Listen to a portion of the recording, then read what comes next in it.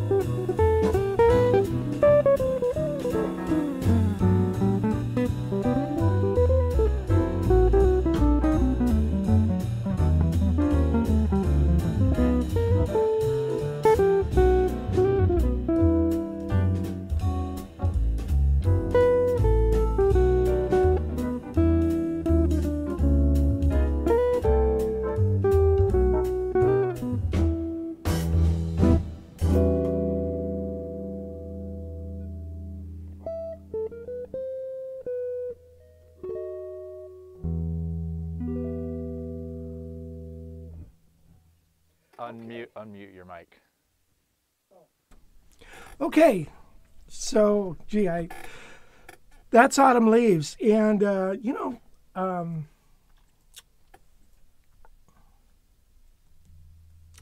that's it's it's a fun little tune, right? It goes between two key centers. One is G, and the other is E minor, and it's E harmonic minor. because it's got a two chord of a flat five, F sharp seven flat five to B seven. So that sound.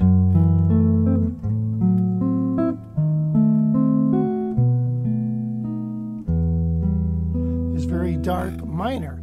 The other sound is major.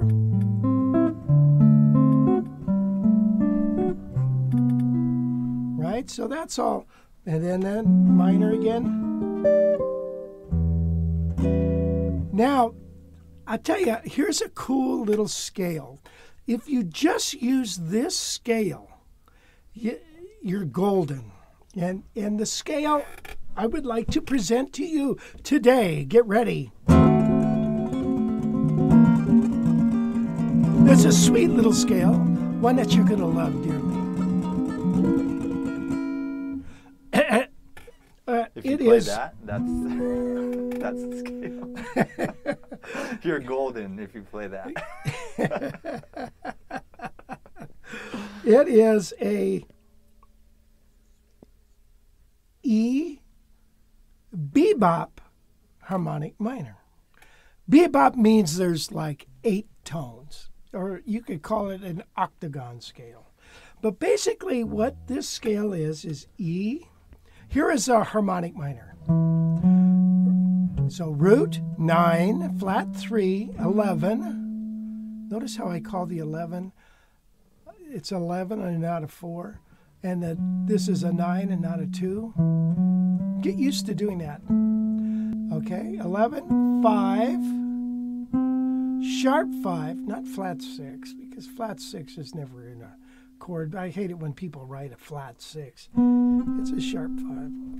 And then the next note is a natural um, 7. So there is harmonic minor. Now, what we're going to do is insert one note. The flat seven, the natural seven, and then the root.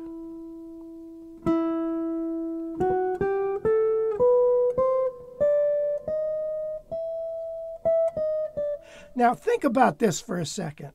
Think hard. All right, if if we compare this scale over, let's say, let's first start with a uh, E minor, okay? Okay, there's the third, the flat five, the fifth, the sharp fifth, which is a little funky, but it's okay. The natural, or the flat seven, the sharp seven, or the natural seven, whatever. And you get this sound, right? So here's the scale within the chords.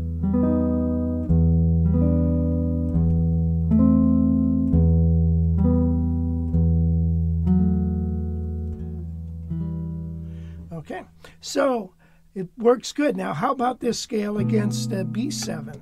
Okay, there is the um, E, which is the worst note you can play against the B7. So let's eliminate that for now.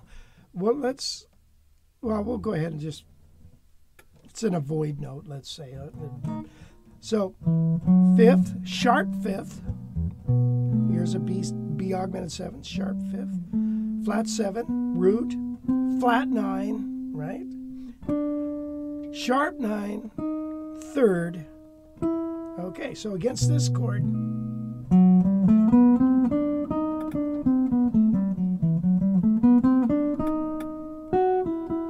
resolution. Okay? Against F sharp minor, same kind of thing. Now, how about in the major key? How F against A minor chord, right? Five, six, flat seven, root nine, flat three, eleven, flat five. Yeah, so it's cool.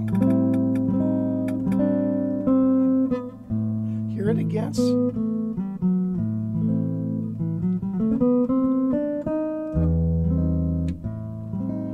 Against the D7. How about that?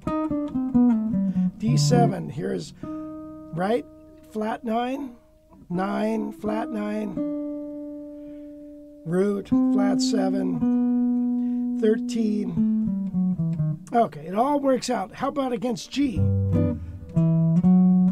Right? 6, 7, root. 9, 3, 4, 5, sharp 5.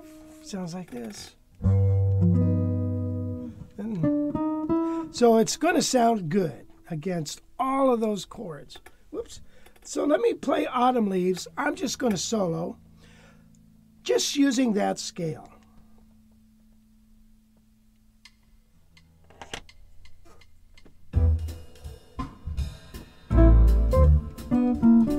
We got to get past this. All right, here we go.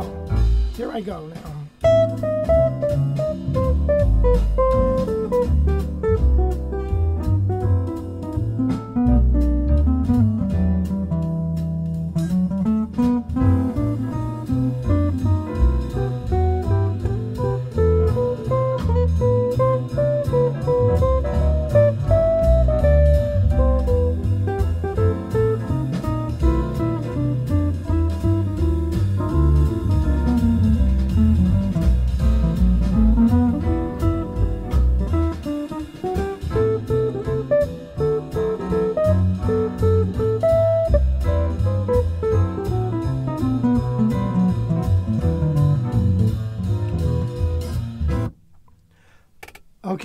You with me on that? It all works really good, doesn't it?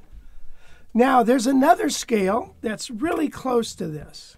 Oh, but wait a minute, before we before we go any further, I want to show you this one thing. And that is if you look at a scale and you think about it and you try to get a pattern there. Now I started with my third finger there, right?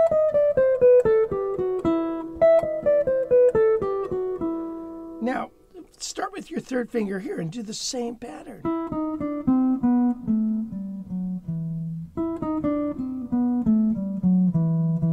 You know, it's a little bit different, but you, you dig.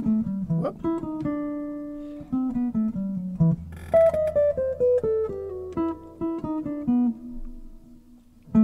Ah.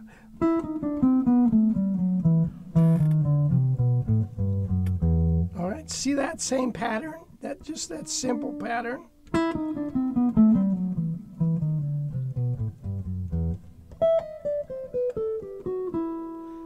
Okay, now let's add one more, uh, an, one more thing here.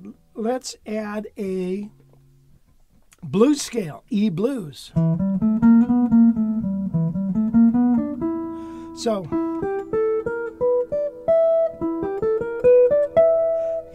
Hear that difference? Now I'm going to add this blues scale in with the bebop.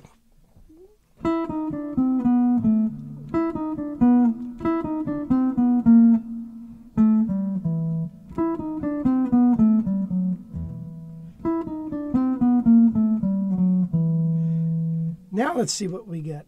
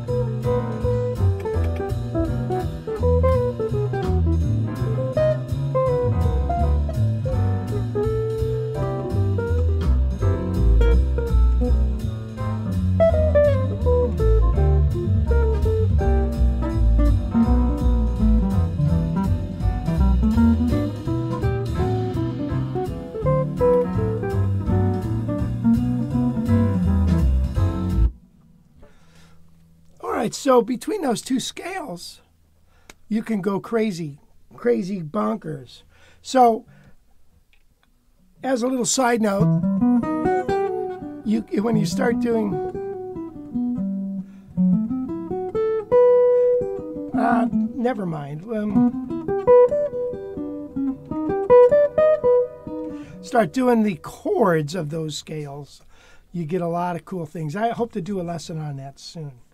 So I was trying to think of an easy way to show somebody how to solo over that song. Now, all we're doing is staying in one tonal center, right? And we're letting, which is E bebop harmonic minor, and we're letting the chords react to that scale. So it's kind of a different concept as opposed to soloing around the chords and changing all that stuff. So, so let me show, show you the difference. Here's soloing around changes.